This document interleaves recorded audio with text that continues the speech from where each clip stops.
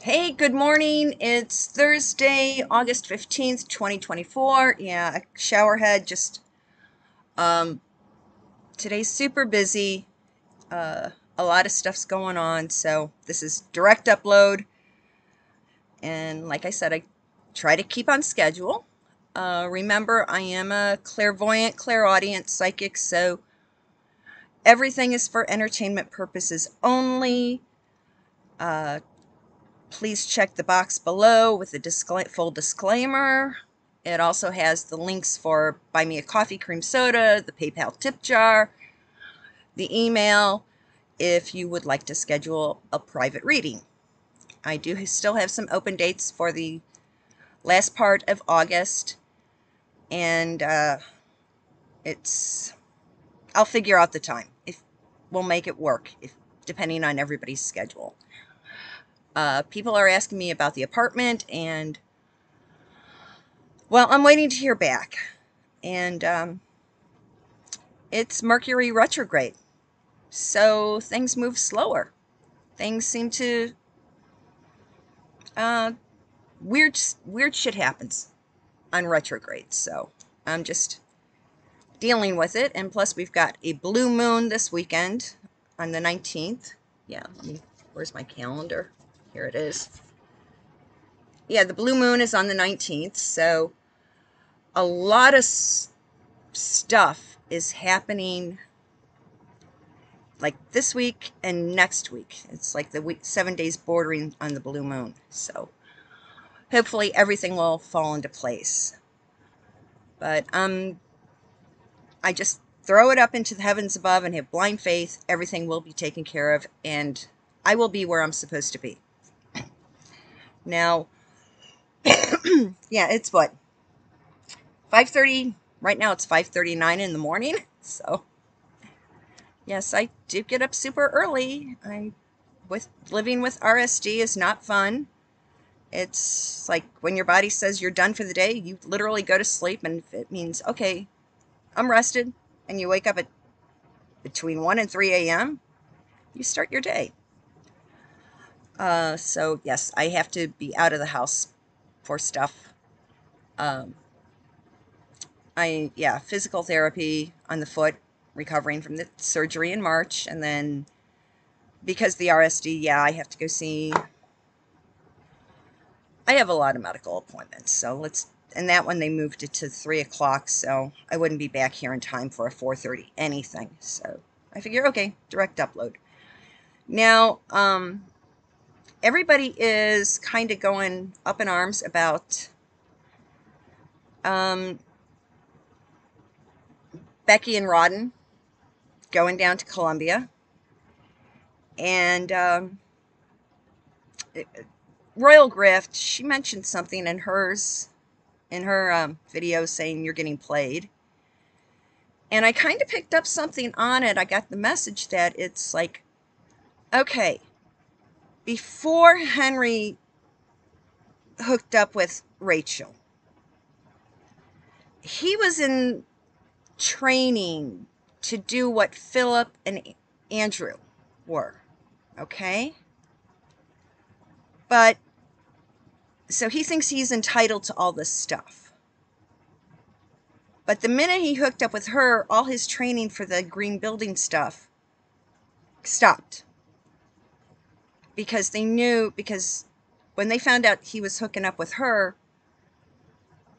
all her background was dredged up. And yeah, the three letter agencies from both North America South America, Europe, and the UK, they compiled one giant file on her.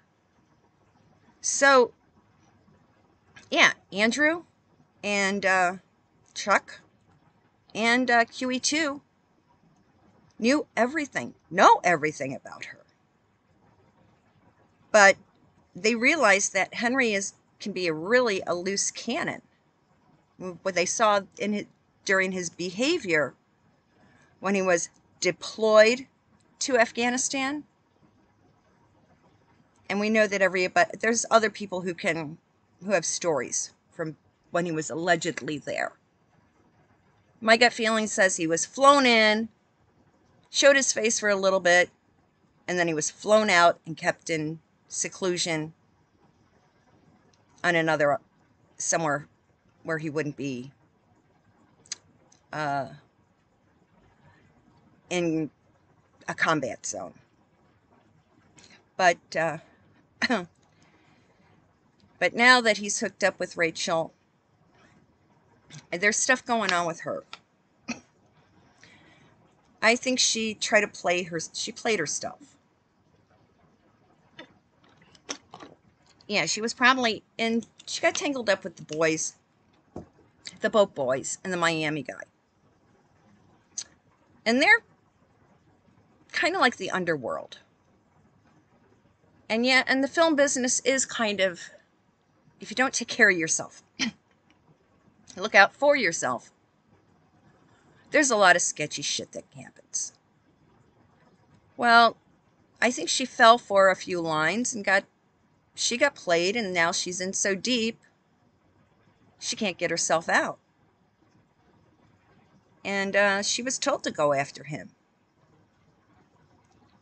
So this is what I keep getting. She got, she, she went and tried to play the game with the not so nice people. She's in so far deep that she's just taking orders now.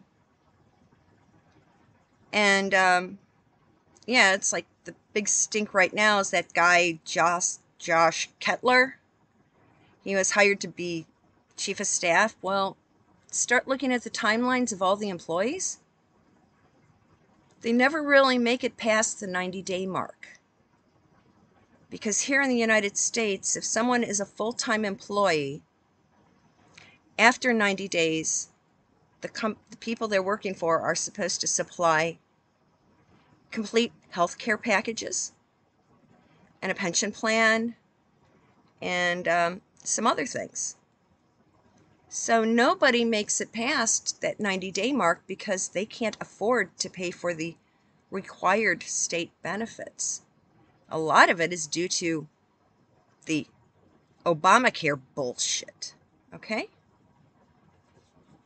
So that's why nobody lasts past 90 days. Three months because sometimes it's, um, sometimes they classify it as 90 business days. So that's why no one makes it past that, that marker.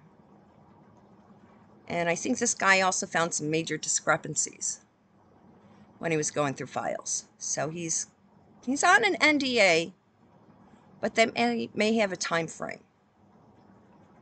And the fact that they're now going down to Central America, to a country that's known for some not so nice stuff.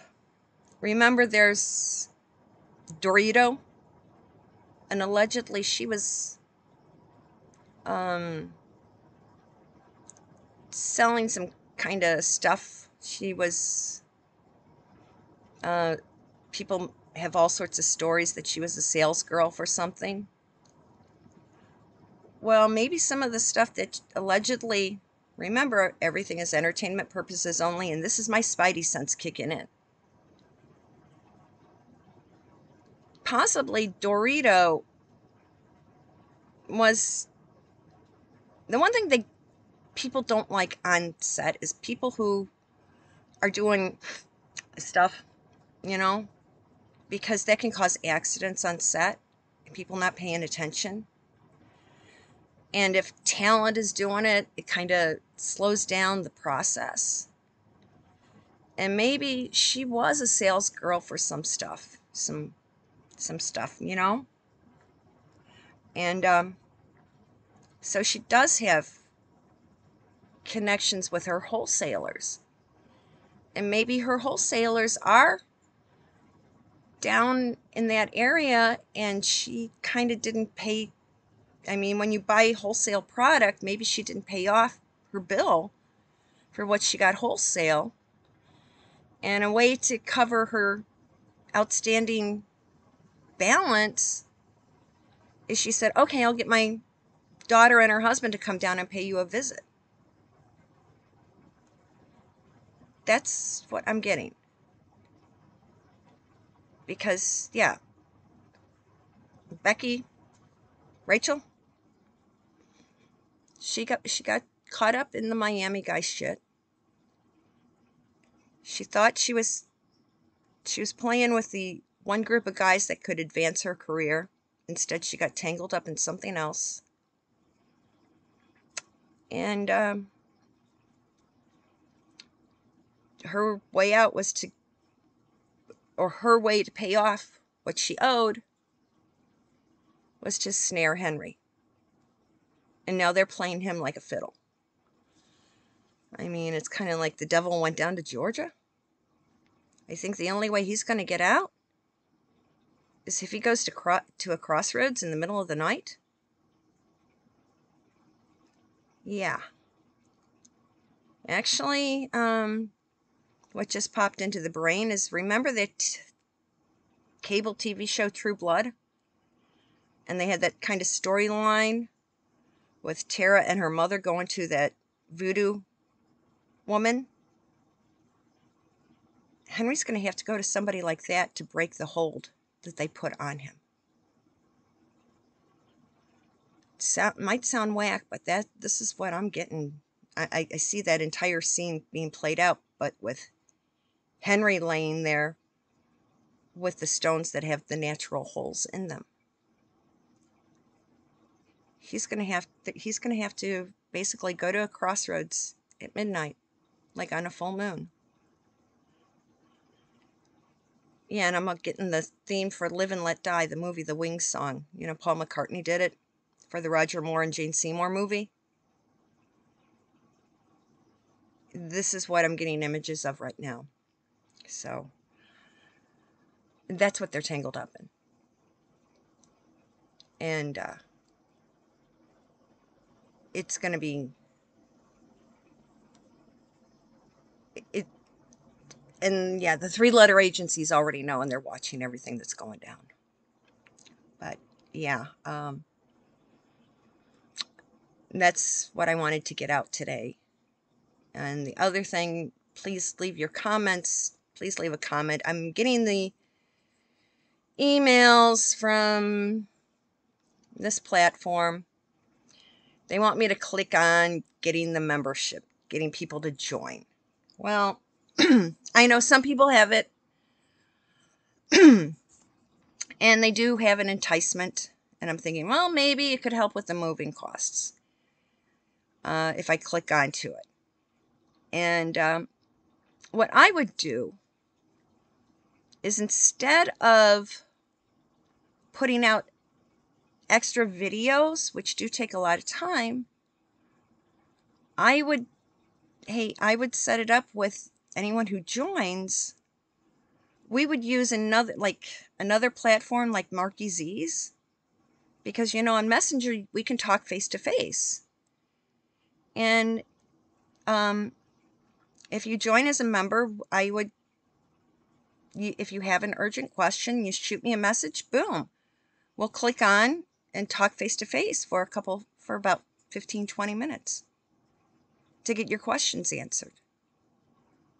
So if you want to be a member, yeah, it's like I'll be available on um, the FB Messenger for fast questions because I think that's a fair deal. It's like you're helping me, I help you and I guess the membership is like I'll set it for super low. I know I'm Patreon on a couple couple sites. I mean, uh, um, what's his face? Real Music Observer, Dave Spuria. Yeah, he he's his channel is also politically homeless, so I'm on his and a few others, and so uh yeah. So let's see what happens. So I'll, um, when I get back from all the stuff I have to do today, I'll throw something up on the community page to let you know how everything went. So everyone have a good day. It's like almost 6 a.m. here. The outside, I can start to see sunlight coming up. Uh, the sky is, the eastern sky is lightening up, so You know, just to cover our asses today, Shema Yisrael, Adonai Eloheinu, Adonai Echad, Baruch Shem Kavod Malkuto Le'olam Vayad. Everyone have a great day.